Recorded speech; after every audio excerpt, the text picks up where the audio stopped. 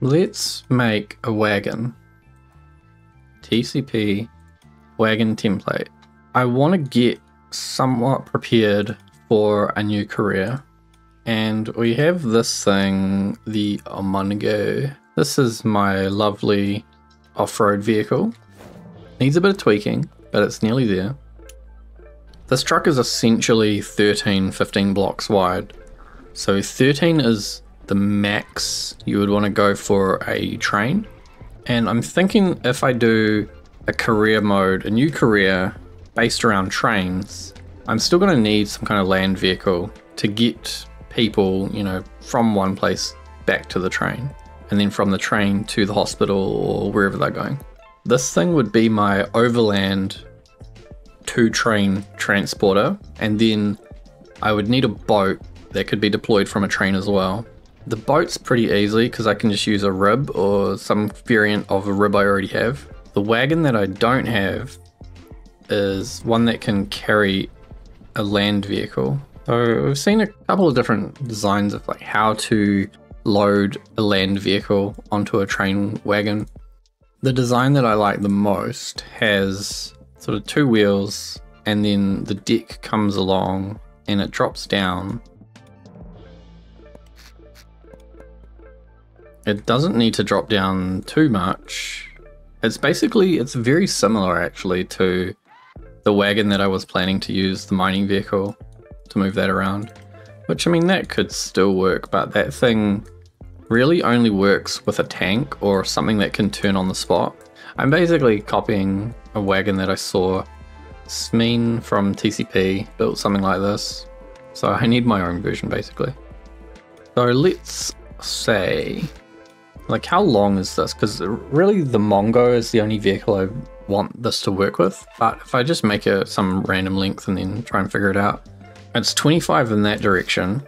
So then if it were 25 in this direction, that's the main deck. And then the Mongo, so it only just fits. 25 in both directions is quite a lot, eh? But that would mean that a wider range of vehicles would be able to fit on it. The other thing is that if I cut back in here like 11, so just mark out some spots, then you would need ramps anyway to be able to pivot it down. So these are 11 long ramps. 11 long with a wedge on the end. It actually seems a lot shorter now. What if it were... Oh, I know. What if this pivot, this bit here pivots as well? Or so it'd be good to get an upside down one by four across here. Like permanently in place. And that way it would act as a stop for the ramp to come up into. And it would mean that rotating it while it's flat is probably possible. Uh, if it's a ramp, then I guess it makes it a bit easier as well anyway, because as it pokes out, the ramp will go up. I'll take this piece here just with the pivot, paste that in there, merge, merge it and cut it. So cut this piece and then have it start facing up, which then means I can grab all of it, drop it down. Then I need some kind of frame along the bottom. I think this goes the whole way. And then merge that to there and then that's now the red grid, the main grid. Oh, uh, wait, that's wrong. I'll just put some levers on. I can show you what's going to happen here. That connects to that. That connects to that. And this connects to this. So it'd be quite low, but then this piece here on spawn, on spawn will fold down. So it might not even need to pivot up at all once it's down. Oh yeah, that piece there will be locked so it can't go up, it can only go down. And then this one, this is the problem. It's getting a bit jammed under there, so as it turns, you would really need this one to come up. Ooh. So it turns off to the side only a little bit. It doesn't need to go fully sideways, it just needs to be able to clear that. And then the ramp folds down. Does that make sense? This makes sense, eh? The other option is maybe flip this wedge up the other way. And then start this one down like this. And then get rid of this gap where it needs to pass through so it's passing directly below it without interacting with anything. And then just put some support pieces in here. It looks a bit goofier and I can probably hide it with some XML, but that means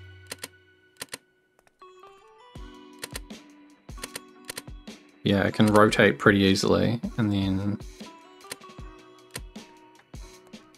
yeah, the ramp down's not too bad.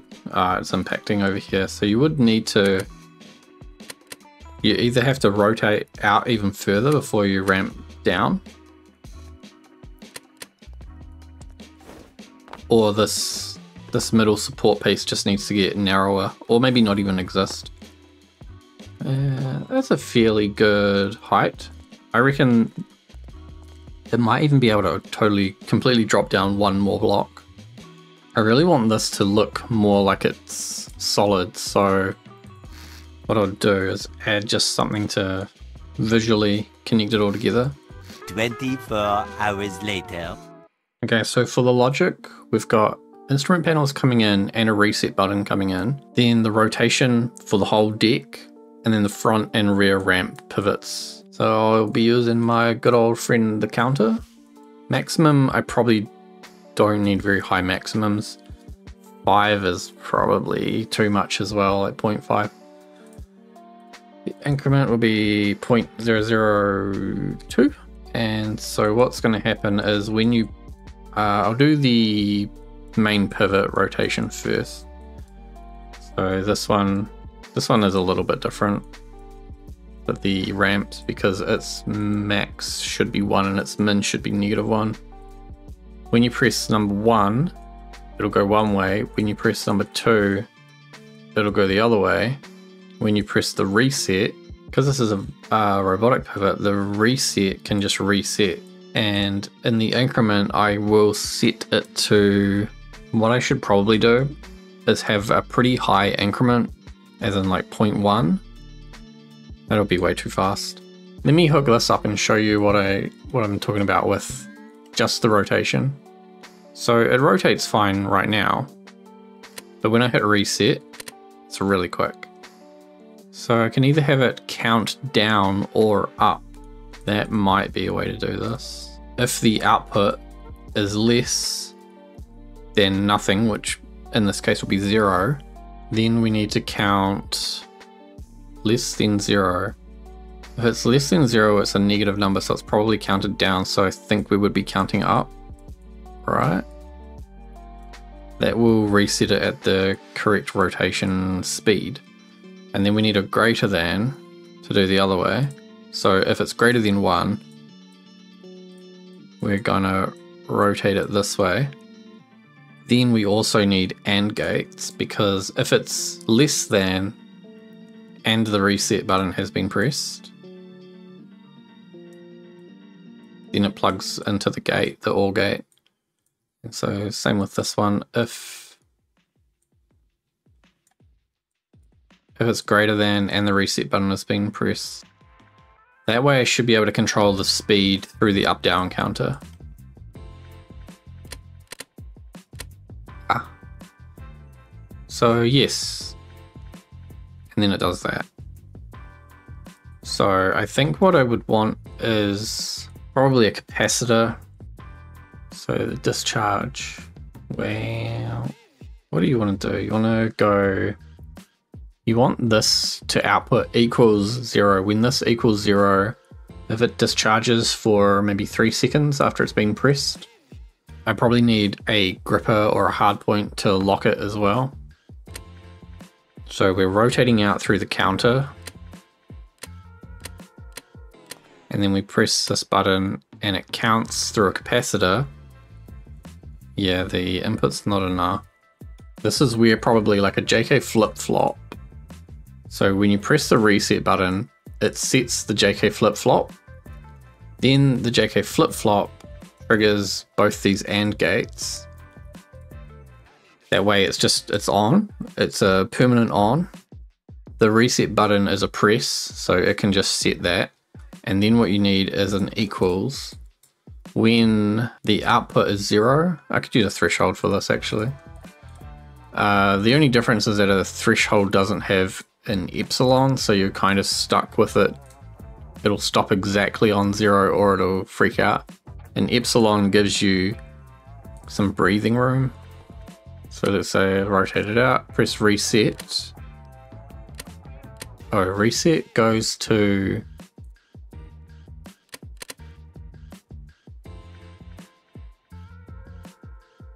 Hmm. What's happening is it's not reaching zero. If I can find the pivot in here. See this, it's like, it's never reaching perfectly zero. And so that threshold is, it's not able to fully reset the JK flip-flop. Whereas if I use an equals,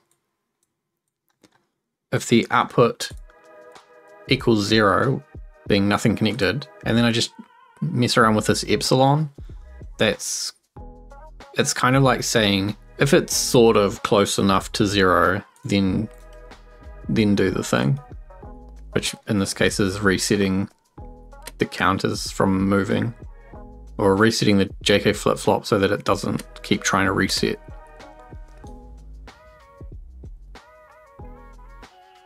Yeah, see that's pretty good. So it's within that like 0.00001 or whatever it was. It was trying to, it was freaking out on a little bit. Now it's the the epsilon on the equals is basically said that's close enough, close enough to count. I feel like the middle section should be longer and the ramps should be shorter. I'm gonna shorten the ramps a little bit, but extend the deck. I'm gonna use friction pads down here and rockets to build that frame on the bottom. So there's going to be a slightly bigger piece on the bottom. Okay, now I need to do the logic for the ramps. Ramps. The ramps are just robotic pivots as well. So I could just copy this whole thing. If this was one ramp, I think I've got one, two, then this probably three and four for the up and down. The up and down counter, we probably need a zero min and a 0.5 max. Then the reset button also connects into this JK flip-flop for them. And then I just need this again and change the channels. So it's one, two, three, four, five, and six. Now I probably need, thinking about it right, you need both ramps to be up near zero. So you need both of these meaning an AND gate, to reasonably equal zero before you need this and this before this JK flip-flop on the pivoting rotation reset begins. So you need this and this and probably this. If I get one of these bigger functions, we can do x and y and z. So that would mean the two ramp values must sort of equal zero and the reset button must be pressed. Uh, actually, we'll go, that has been pressed, which means this flip-flop has begun. So for the output of the flip-flop to interact with these two ANDs, the other two values must equal zero first. So essentially, it's like putting another bit of an OR gate in front of the JK flip-flop. I think that's it for the logic. Should be able to rotate both directions. I've just got it rotating under that for now. I probably need to allocate or set a min and max, but it doesn't seem like it needs to go too far, just enough to clear this corner, I think. Then front ramp, front Oh, it's a bit backwards. Okay, let's get a Mongo.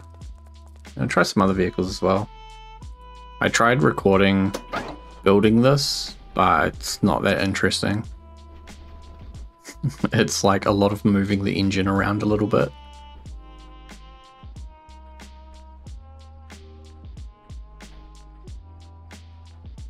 Yeah, that's pretty easy.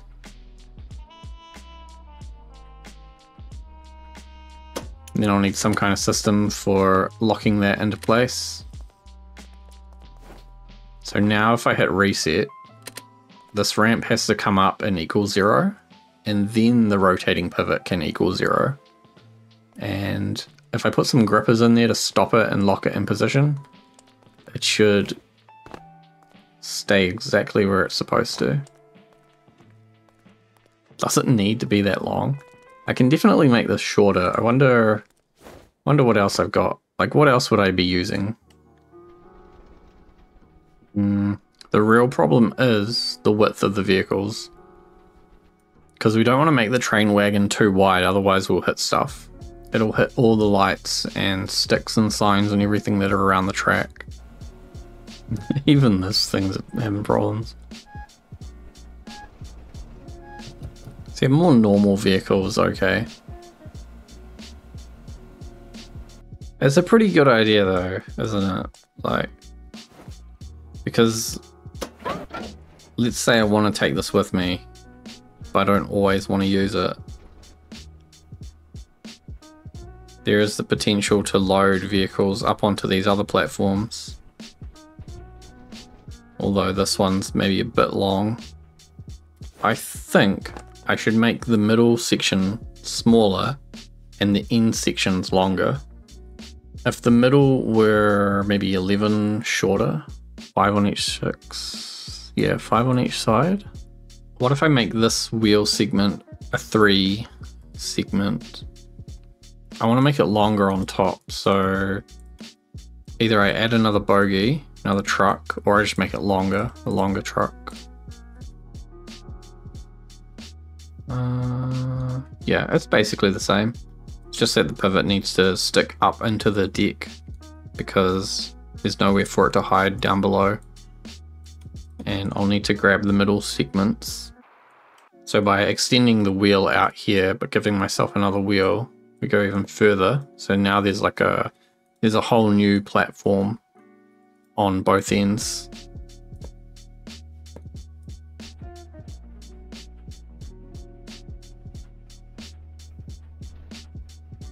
Uh, I don't know if there's a parking brake on this, but that's on the platform. Hit the reset. Maybe it'd be good to have a reset through radio. Then once it's turned back to normal, drive this guy up to here. park, park up here. and then, if I wanted to load another vehicle,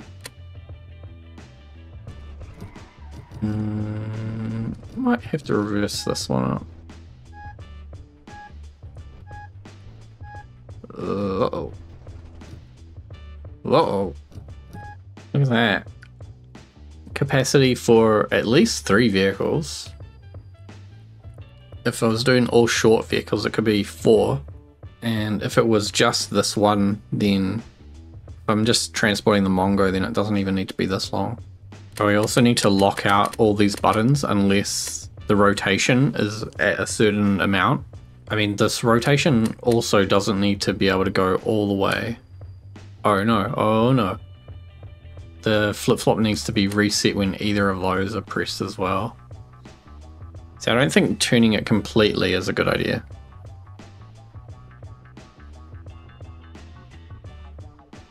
Or is it? Or is it? When either of these, which are the two left and right rotation buttons, are pressed, if either one or two is pressed, then reset the JK flip-flop. So I need another OR because I need it to either stop on the equals OR or to stop on the other button input OR. So now I've got to figure out how, what is a good rotation? Like how much, how much rotation is clear for the system. I want to output this rotation pivot to a dial. Spawn vehicle. Ew. So rather than limit how far it can rotate, I'm going to find the exact amount of where it's a sketchy number. That's two six, two seven, two eight, two nine, three. Three is too much clearance, I think. So maybe two seven, two eight, two seven. Yeah, two seven is good. What I want is on this panel here, I'll change this so we have rotate left an arrow at the top left, then rotate right as an arrow on the top right, then an indicator, which will be rotation clear, and then rotation right clear, another indicator. So it's one, two, three, and four. So that's basically just going to light up as soon as it's clear for these other two buttons for the up and down of the ramps to start moving. The microcontroller is going to have to get quite a bit bigger. It's going to get a lot more complicated than this. The rotation is now, well, it was one and two, then we want to have a threshold coming off here, two thresholds. And those will write back into the chain, which is, I think it'll be okay to do it like this. Right back, and then I need to connect this to there because I'm chaining through the whole system. So the threshold will be 0.27 and 0.27 and then the other one will be negative 0.27 and negative negative 0.27. I'm writing to channel 1 and 2 boolean but I'm also detecting I think I'm overriding those signals, right? One, two, three, four, and then these ones need to be one, two, three, four. I need multiple of this though, that's the thing. So how many how many control areas do I need? Do I need one on each side, one at the front and the back? Uh, I just realized my indicator lights are not going to turn on unless I'm exactly at what those thresholds were. So they need to be between 0.27 and 1 and between negative 0.27 and negative 1. So we should see yeah, because if you're doing it from here, you can't see where the rotation is good. But once you get to here, that's when you know you can start putting these ramps up and down. And I guess, yeah, hmm. it'd be good if you could stand somewhere where you can see the ramp to be putting it down. What if the instruments were just in the ramp? Because then you have to be right here to push it down. You'd have to be up above it though, or on it in here would be the best place really and just duplicate the system over and over again. I'm going to do that. It's not the best because it means I've got to have a huge amount of channels but it makes it super easy to get the right positioning. I'm not going to rotate and mirror it because that way it will always look the same. So from here we'll need to go instead of this back into the microcontroller needs to come all the way to the end plug into the air and then we just loop around. And then that goes back into the microcontroller. So left and right is going to be like one, two, three, four, five, six, seven, eight. Am I going to run out of channels? So one, two, three, four. And then what I'm doing for the indicators, they are 9 and 10. So I went four, five, six, nine, ten seven, eight, nine, ten. And here, what changes is we now have channels one, three, five, and seven. Channels two, four, six, and eight and they go into one of these functions, Boolean function, x or y or z or w. So using that pipe is the operator for OR in this case. And then instead of it down here in this OR, these two composite reads in here. This goes into all of these. And then the top one goes into wherever this channel 1 is going into. See, it's also coming in over here, so I will need to redirect it to there. And then this one will go into this OR and this OR and get rid of those two. And I'm going to do the same thing with the two bottom ones there. Oh, and these two up here needs to start at channel 9. So it's 9 and 10. Then I've got four, so it's from 10, 11, 12, 13, 14, 15, 16, 17, 18, 19, 20, 21, 22, 23, 24, 25, 26. I've got to go up to channel 26. So I'll just do all the front ramps first and then all the rear ramps, I think.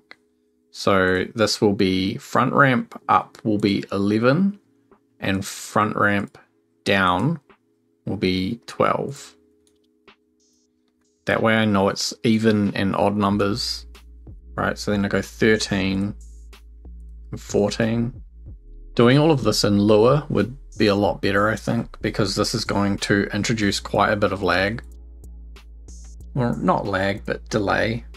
As it has to go through each one of these components, it adds a tick of delay, and you start to notice it when you chain things together too much. So that's all the ramp ups done. They went up to 18, or it was all the front ramps, I mean. And then all the rear ramps will be from 19 onwards. So 19, 20. This goes to there, and this goes to there. Get rid of those. And then the next thing to worry about is this reset button because I no longer have one reset button. I have four reset buttons, X or Y or Z or W. Goes into there, into there, into there. I think I could chain those buttons together outside of logic because they're push buttons and they have a, an external output. I think that is it. And then maybe I should just provision an antenna on here somewhere I'll put an antenna on somewhere and then run the comp signal into this thing here. So I'll actually use this bigger one for reset. And it'll be X or Y or Z or A, and A will be the radio signal. That way I can reset it without having to go looking. So I will need a comp in which would be radio data. Then I'll also need to know Receive mode, I think, is default, so I just need to know the frequency. To we reset radio frequency? We're just looking for an on signal coming across channel 1 on frequency 550. 551. I like 551. Now, let's try and organize this a little bit better than how it currently is. A good trick for cleaning things up when you know that you've done it is if you put all of your signals directly below each other. So in this case, what I'll do is, and I want to get rid of all these purple lines. That's what I'm trying to do right now. I'm going to take them all and stack them all vertically. Yeah, that's a bit cleaner eh? it's a bit more easy to understand than with all the purple lines going all over the show. So now to see if everything works.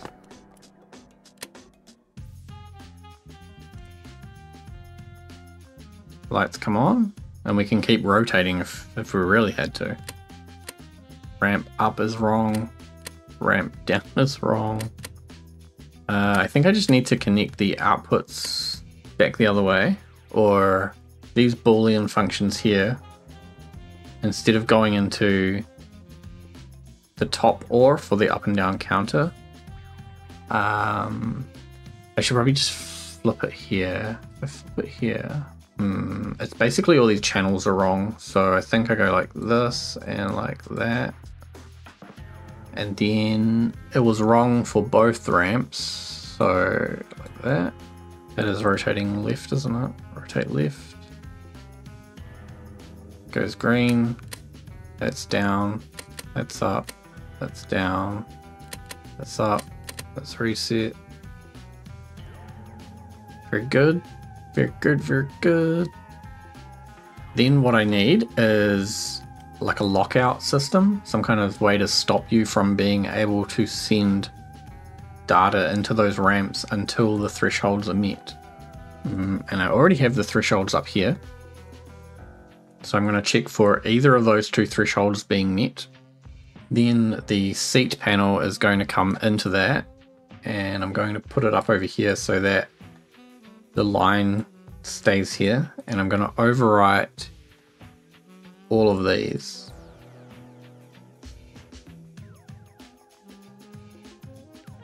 So you should see this one switch box now controls everything down below here.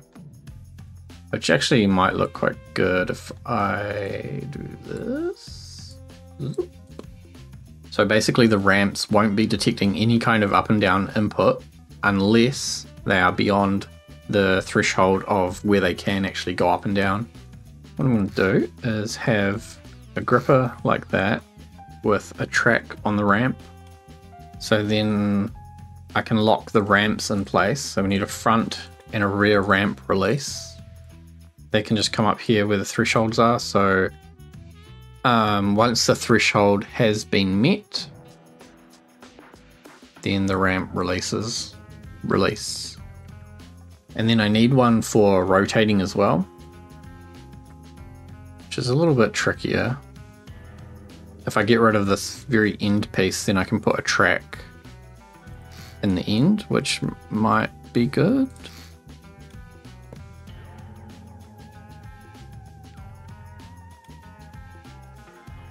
like that. Probably actually be better this way. This is to stop it from pivoting out while in motion. Get rid of that. I can kind of plug this up. Then I need one more output, which is rotation lock. This one goes on... Is there an equals coming off this? If this equals zero, what I want is if this does not equal zero, if this here does not equal zero, then release those locks. Because the counter is the counter. I need to connect it to the counter. Not the, no, yeah, yeah, yeah, yeah, yeah, yeah, yeah. Because the counter can count up and down regardless of if the pivot is even moving or connected or anything. So as soon as I start seeing a signal to rotate in any direction, it's going to say, oh, you don't equal zero anymore. So release the locks and then that will let it freely spin. But when I hit the reset button, um, it will lock itself back into place because the epsilon is equaling zero. So I just want to see, is that going to look any good? With these bits. Oh yeah, will it also clip? Huh, it didn't. Ah. So can I drive up that now that this is a 13 wide base? So an 11 wide truck would be fine. Mongo is not 11 wide. Is this going to work? Eh. Eh, it's not bad. Parking brake, parking brake. At the reset button, it shouldn't grab that one. It should grab when it gets all the way in. Should be fine. If we inspect this, tooltip, release false. So that's good, means it's all locked up. And from here, we can drive this vehicle and get stuck because it's too low. Yeah. I do quite like that this is now fully squared off because it hides this. What I'll do with this piece up here then is flip it the other way like that. So I need to get two more grippers and tracks down here. There you go, a really long ramp transport trailer thing. Now I just need to decorate it. I think I think it would be a good idea to put hey wait a minute. What's that? Heh. I think it'd be a good idea to put tracks through here, through the middle, because then I would be able to put containers on it. Uh, tracks also look pretty neat. While that's heating up, we'll come and inspect the gate. I've done a bit of painting. Some of it's maybe not painted fully yet, but we should be able to rotate. And it's green, so now we can go down. Oh, ooh. It's not releasing. The front one's releasing, but not the back one. Uh, I don't think my brake's connected. That's gonna slide away someone posted a, a pie chart and it's like 75% of the time spent on building Stormworks things is just fixing one stupid thing that doesn't work. That's how I feel about this. That's how I feel about everything actually. Everything in Stormworks is like that. This is looking really good though, hey, eh, for the tracks. I really like the tracks. Yes, that's very nice. I've got winches in here. I used the medium winch because I do not want to listen to the small winch ever again. I hope it goes away. Mm. Oh, I have got no handbrake on the Mongo, so it'll fall off. It'd be interesting, like, if it doesn't fall off, that'd be really nice, but rolling already, so, you know. Oh yeah, it's already gone. it does look very good. I think I need to put some door frames in the deck and like this, it's just all silly logic stuff I need to connect now, like getting all the winches connected and connecting TCP because I actually didn't connect anything. As long as it doesn't break, like I don't want the wheels twisting into any of the body, so taking it very quick around some of these sharp corners will very quickly reveal where things are not working.